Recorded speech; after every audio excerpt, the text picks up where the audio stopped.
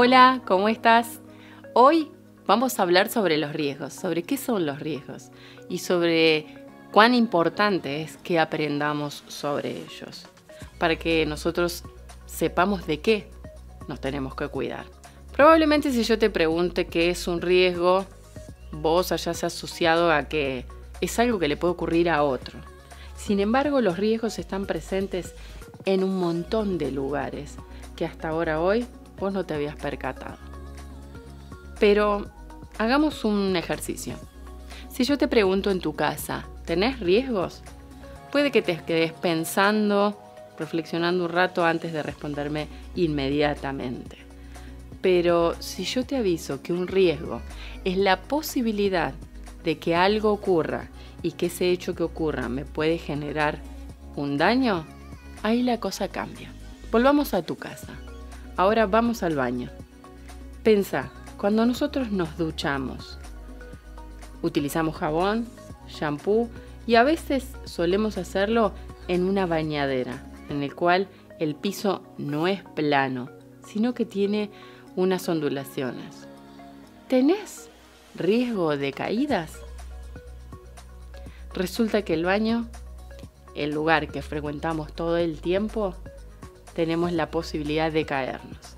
Ahora, si pasamos a la cocina de tu casa, mira bien, recórrela.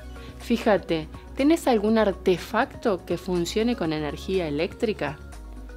Y si nosotros entramos en contacto con ese artefacto que está funcionando con energía eléctrica, ¿no estaremos expuestos también a recibir una descarga eléctrica? La idea de, reflexionar sobre estos lugares donde habitualmente vos te manejás, por ejemplo en la calle, cuando te conducís, sea manejando un auto, seas peatón o seas ciclista, ¿no tenés posibilidades de, de tener un accidente? Los riesgos están presentes en todos los lugares. Y la intención de este curso no es que vos salgas horrorizado para cuidarte de los lugares que hasta ahora vos no tenías en cuenta que podían ser peligrosos. Como bien decía Nelson Mandela, la mejor herramienta es la educación.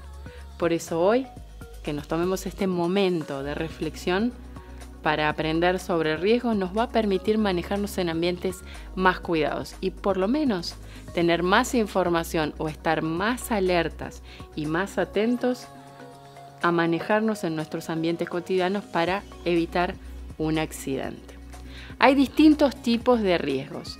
Están los riesgos físicos, a los cuales nosotros denominamos que son la iluminación, el ruido, la radiación, los riesgos que son mecánicos, como los golpes, los choques, los atrapamientos, eh, los riesgos ergonómicos que tienen que ver con la postura del cuerpo cuando realizamos actividades, y los riesgos ambientales como inundaciones, tsunamis, y también se incluyen los riesgos psicosociales, donde está incluido el estrés laboral.